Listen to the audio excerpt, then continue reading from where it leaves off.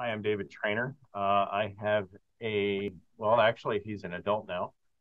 Um, a son that's 29 that has uh, was diagnosed at nine days of life with uh, galactosemia.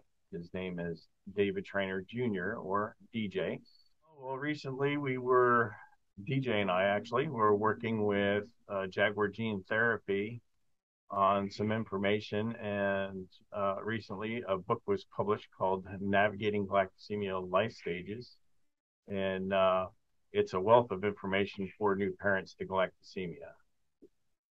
So, like I said, at nine days of life, DJ was di- diagnosed with uh, galactosemia. And at that time, it was 1993. Um, the internet wasn't available, you couldn't just log on to Google or uh, whatever web browser that you have and search galactosemia. Uh, at that time, it was, well, let's go to the library and look up uh, in medical uh, books what galactosemia really is. And that brought me to several other articles and several, several other medical books to find out what galactosemia was. So in 1993, it was uh, not as simple as just typing in galactosemia and searching it. You had to actually take some time and go to the library and look at all this information that was there.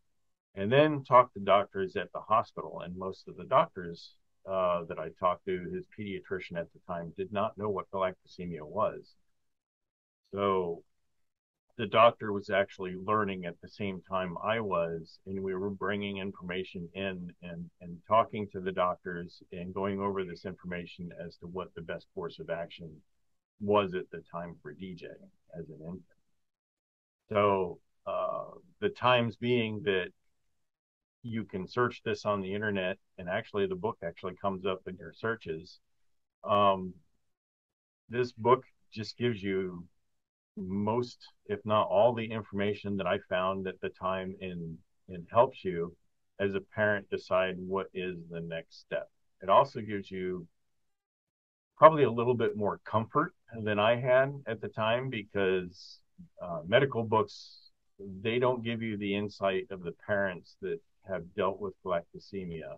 They just present it as facts, and this is what you should do, and this is how you take care of a galactosemic patient.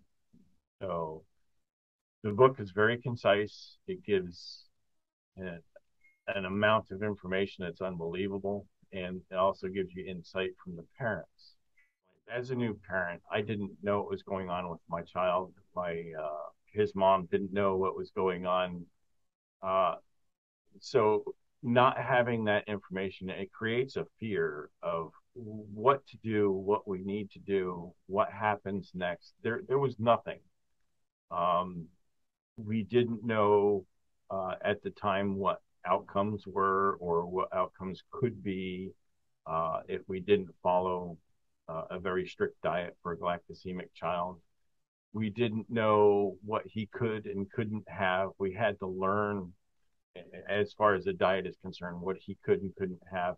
We had to learn all that from scratch.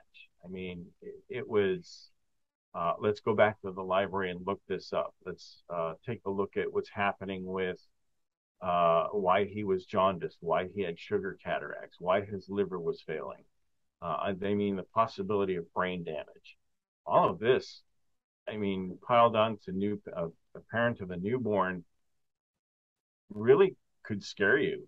Um, and at that point, and being involved in this book and as a, a parent of an adult child that has galactosemia, um, I'm I'm happy that other parents participated that have younger children uh, and put their input into this because opening this book and reading it, if if I had this book when DJ was born uh, it would probably knock out most of that fear as a parent of a galactosemic child, especially a newborn, and understand what needs to happen.